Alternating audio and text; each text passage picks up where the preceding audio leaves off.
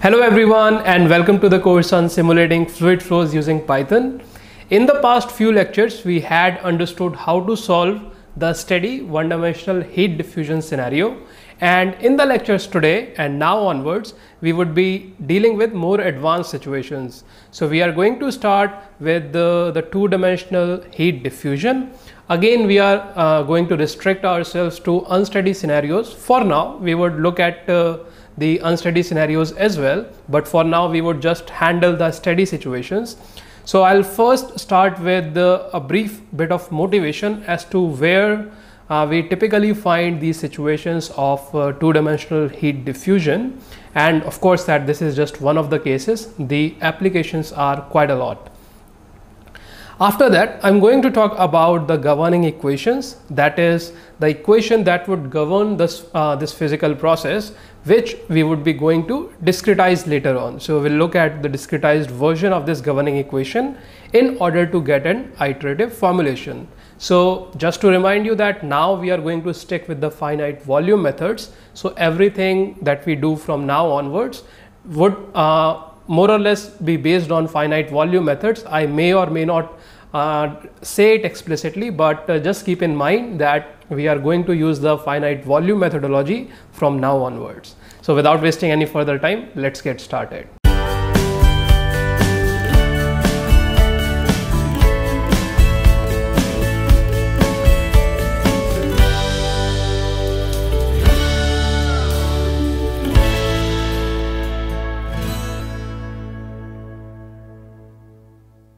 So on the screen, I'm trying to show you a very general uh, 2D heat transfer scenario, which is basically taken from uh, a case where we are trying to cool down an electronic component that is being heated. So consider that you have some sort of circuitry or a printed circuit board in some of your electronic system, which is represented by this uh, black outlined gradient filled uh, square. And underneath that, you have some heat generating source. So you can imagine that you have certain system that is running underneath it or probably over it, it doesn't really matter. But there is certain heat source that is also affecting uh, your system that you are trying to investigate, which is the PCB in this case. So you can imagine that uh, maybe some boundaries here they might have some sort of insulations, whereas some other boundaries it might be exposed to the atmosphere. So in these kind of scenarios, the temperature could be a function of both the x and y. So the temperature could vary well along in this direction and also in this direction. And of course, that has to do with how the boundary conditions are implemented. So we have two complexities that we have added in terms of uh, what we had discussed previously. The first is the dimensionality of the problem. We have changed it from 1 to 2 and we are now trying to also deal with these kind of source terms as to if there is some source heat source or equivalently there could be a heat sink that the heat might be being taken away by the system. For example, uh, when you place the cooling pad uh, underneath your laptop that acts like a 2D heat sink. So hopefully this would give you an idea of where you can find these kind of scenarios. And again that we are talking only in terms of heat uh, diffusion here but the same ideas can be also equally extended to other kind of diffusion. For example uh, concentration and uh, pollutants concentration for instance. So you don't have to strict, strictly think in terms of heat only. So before I look at the two-dimensional version of this, let me quickly recap about the one-dimensional FVM scenario. So when we discretize the one-dimensional domain uh, that is represented by these points here, we considered a finite volume around any point of interest P and we said that the points where this finite volume cuts the grid or intersects the grid, we call them as corresponding control volume faces. So we represented them as small e and small w. Now let us look at how this would be changed or adapted to a two-dimensional scenario.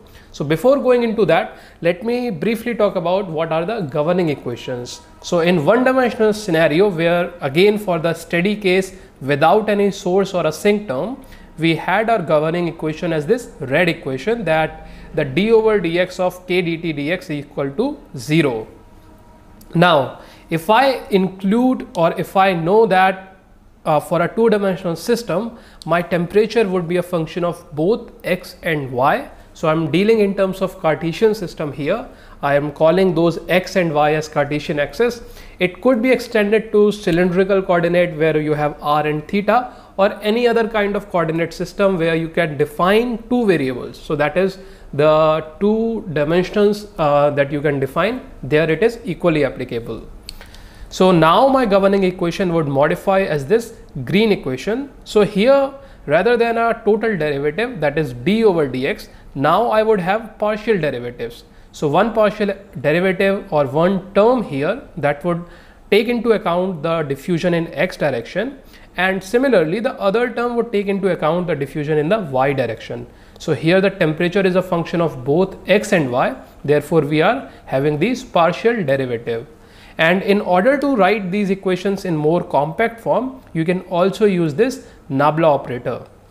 So just don't get scared if sometimes you see this particular equation uh, because this as you can see it's a more compact representation of the green equation but these two equations are more or less the same thing if we are talking in terms of two dimensions.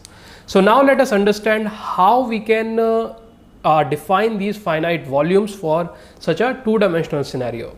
So let me first uh, start by highlighting what was our computational domain. So this uh, uh, dark blue line that you see on the outside that represents my boundary itself and what I do next is just like what I did in the case of one dimensions I discretize the boundary or I divided my boundaries into small number of chunks so for that what I'm doing is I am having these points on the boundary. So rather than this entire length you can think of capital L I'm dividing into these uh, this capital L into multiple small lengths or you can think of in multiple small L's. I'm doing that in both the horizontal and vertical direction. So all these points that are represented in red color they are the boundary points and corresponding lead to each boundary point when you draw a vertical or a horizontal line that defines your 2D grid system. So wherever one two of these lines would intersect, we would have another point at that particular location. So all these blue points, they are a result when you draw vertical line from uh, the points on top and bottom boundary and horizontal lines from the point on the side boundaries. So wherever those line intersected, we have another set of points. So these points are typically called as interior points to that domain. Just like in the one dimensional system, we had two points on the boundary and we had multiple interior points. In this system, we have four boundaries and accordingly we have more number of points on the boundary and we have even more, generally even more number of interior points. So that's a general representation of 2D grid in any kind of system. Now if we have to talk specific in terms of finite volume method, again we have to consider a point of interest P. So if I represent this as point P, then using my previous knowledge, I know that the point lying right to it can be called as an east neighbor. The point lying next to it, it's called uh, on the left, it's the west neighbor and similarly, if we know something from the geography, we can now define north and the south neighbors. So the point to the top is the north neighbor and the point to the south is the south neighbor. Now, in order to define a finite volume now, we have to again think in terms of both the directions. So if we have to sketch a finite volume, so the, remember the finite volume should span around this point, around the point of interest P, but usually it lies the faces of those volumes, it usually lies midway between any of the two points. So I can very easily define a finite volume like this. And just like previously, wherever the finite volume intersects the grid lines, we can define the finite volume faces. So just like previous, we have the east face and the west face and similarly we can have the north face and the south face. I hope that this is clear. I am trying to make it uh, very easy for you to understand but still if you have any questions please don't hesitate to ask in the comments. I would uh, try to answer them ASAP. Now having understood the finite volume, let us just try to blow it up and see what we can do with it. So I've just blown up the finite volume here and I've tried to sketch a more general finite volume. So you can see that it's not a really a square. I'm trying to make it more rectangular so that we can now look at the generalized version of the finite volume and therefore the generalized discretization process. So here we know that in order to solve the governing equation using the finite volume method, we have to integrate that governing equation over that finite volume. So that's precisely what I'm doing here. I'm having this uh, volume integral. I should have written something to represent that. But you can see that we have dv sitting on the outside and within these large brackets I have my governing equation. So now we have a volume integral but we have sort of an area element uh, because this uh, system is in 2D so we still don't really have a proper volume. So what we would do is we would again use the Gauss divergence theorem. So what does theorem does is that it converts the volume integral to an area integral and we are introduced a new vector or the normal outward normal vector for that particular area. So again, if this process is not clear, please refer to any standard text on uh, uh, vector calculus. It is a very standard algorithm and you would find that I would be using this quite a lot during this course. So now once we have got this uh, second equation that says that the dot product of the outward normal vector to this quantity when integrated over the entire area is 0. Now the important part to understand is that this finite volume has four faces and therefore four areas. So you can think of the east face, west face, north face and south face. So when I'm thinking in terms of integration, I'm basically trying to sum it up over four different faces. So previously we only had two faces and when we dealt in terms of that, we get uh, this two terms in this equation that is ka dt over dx at the east face minus ka dt over dx at the west face. So this negative sign here is because the outward unit normal is pointing in the negative x direction when it is defined in terms of standard Cartesian system. And similarly, now if I look at the north face, I know that the unit normal is now, uh, now pointing outwards in the positive y direction and therefore we have ka dt over dx at the north face minus minus is because this vector would be pointing downwards which is the negative y direction. And therefore this should be the ka dt over. I'm sorry these should be dt over dy at both of these places. So I'll quickly correct that so that there is no confusion. So the, these both of these things are dt over dy I'm really sorry for this mistake.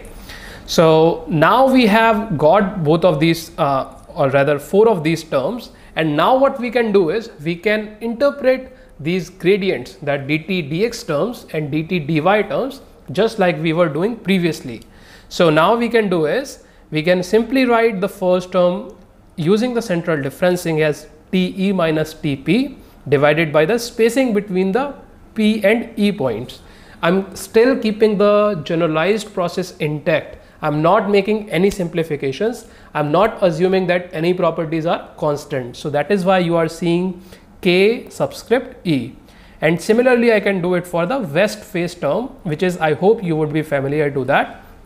Now, for the north term, we have Kn times An just like before.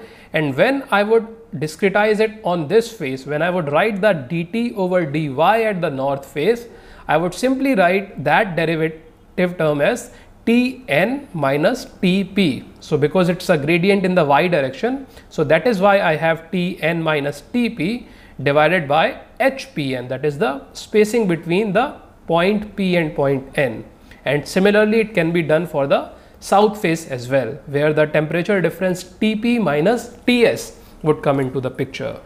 So just to get things clear we have these four terms sitting. Now we can see that we have Tp appearing in all these equations and we have Te, Tw, Tn and Ts.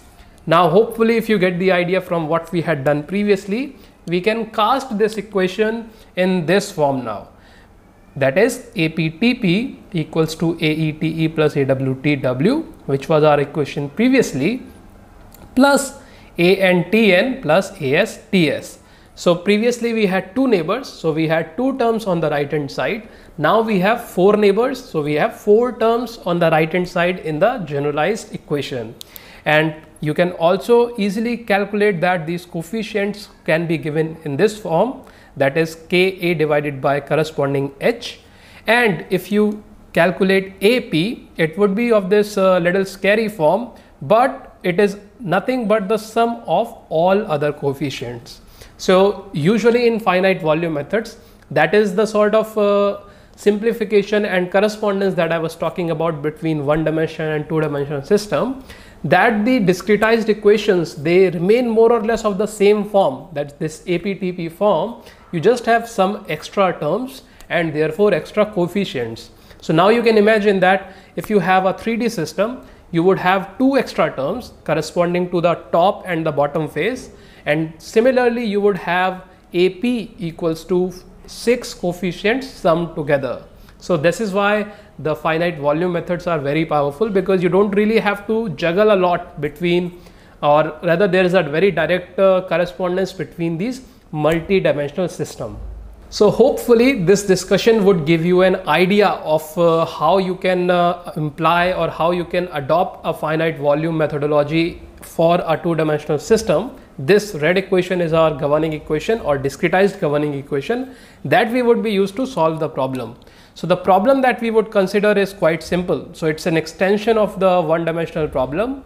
So now we have a square domain. You can take any length for it and we would have three boundaries at a temperature of 0 and one of the boundaries at a temperature of 1. So I'm basically just trying to extend that 1D problem of 0 and 1.